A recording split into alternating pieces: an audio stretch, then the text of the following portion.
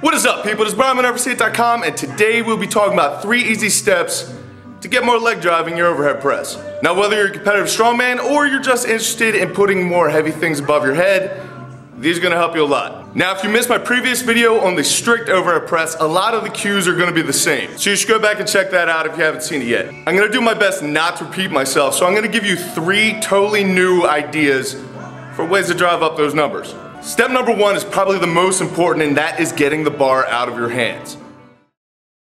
Alright guys, so what you're going to see here is me setting up for a strict press because the bar is in my hands my elbows are directly underneath the bar.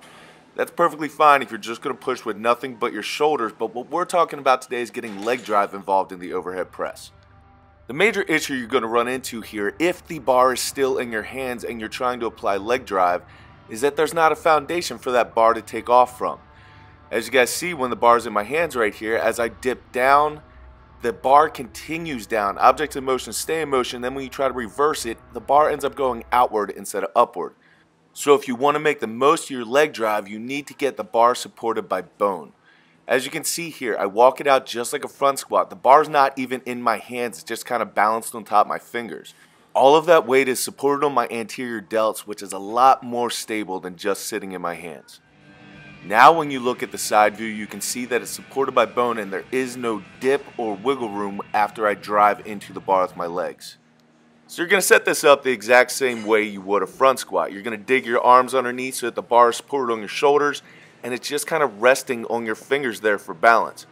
Then you're going to fortify that stability by spreading your lats and flexing your butt, then getting a huge belly breath, bracing down, and then start your drive. Step number two is going to be all about your leg drive and pushing your knees outward so that the bar doesn't collapse forward so that all that force that you're applying can go upward instead of out. Alright, so now we're talking about the direction and the speed of your actual dip and drive. This is a small fix that makes a huge difference. If you're holding anything in the front rack position and you bend your knees forward in your leg drive, your torso is going to collapse forward and that bar is going to go out instead of up. So you're wasting energy. You guys can see here my knees go forward, my torso leans, and it makes for a harder press. So instead, push your knees outward on your leg drive, almost to the point where it feels like you're hitting the outside edges of your feet. If you look at my back position, I can stay much more erect when I push my knees out as opposed to forward. The bar can stay supported by the bone of my anterior delts and then drive straight up so that all the energy I'm creating with my force goes into that bar and drives above my head.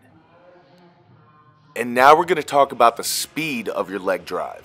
If you guys are going to jump up onto a box or jump up and try to touch a basketball hoop, you're not going to drop as slowly as possible and then try to explode out of it. You just can't build as much explosiveness.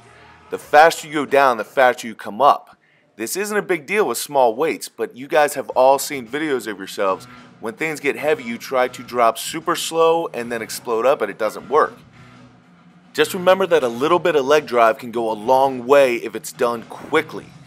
Dip as fast you can so you can reverse as fast you can for more power output. Step number three is all about the throw and catch. If you don't know what I'm talking about, you will right after this. Alright, this one's going to be a little harder to conceptualize. So you guys can see right there, the bar is sitting on top of my anterior delts and it's just kind of resting in my fingers. Very little press is actually happening.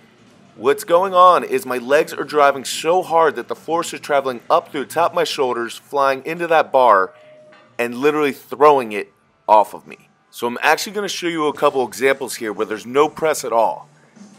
Those two I didn't press. These I don't even have my hands on the bar. And you can see how high the bar comes off my shoulders. All that I'm doing after that is dropping a second time to catch the bar. That's the throw and catch that I'm talking about. If you can do this correctly and you can actually apply the force from your legs into that bar, it will throw it over top your head. Then either you can finish it off with a push press or you simply bend your legs again and you drop under and catch. If you choose to do the catch, I'm going to try to walk you through what your legs are going to do. So they're going to start at 100% locked out with your butt tight. Then you're going to bend to 90%, drive up to about 95%, and then drive right back down to 90% to recatch. You cannot drive your legs to 100% on the leg drive or else you won't be able to rebend.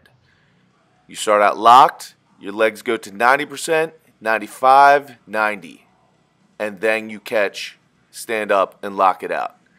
I know it's a tough concept to get, guys, but once you do it, you will automatically add pounds to your press. And here's just a couple reps of me put it together. I get my lats tight, flex my butt, big belly breath, drive it off my shoulders, throw it up, drop back under and catch. You'll see it all really fast. If you do it correctly, you feel like you didn't have anything in your hands at all. It's stable on my shoulders. I push my knees out to drop down. I throw it off my shoulders. I drop back underneath, catch. Promise you guys, bigger numbers will come for you.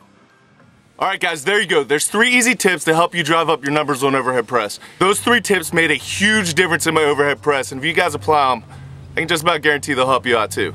Just to recap real fast, you need to get the bar out of your hands and supported by bone. You want to put as much leg into your overhead press as you possibly can. And if the bar is in your hands, it doesn't have a stable platform to push off of. So when you drive upward, your arms come down, the bar doesn't move as quickly. If it's supported by bone, you'll be able to drive a lot more weight above your head. Point number two was to push your knees outward and to keep your dip and drive fast.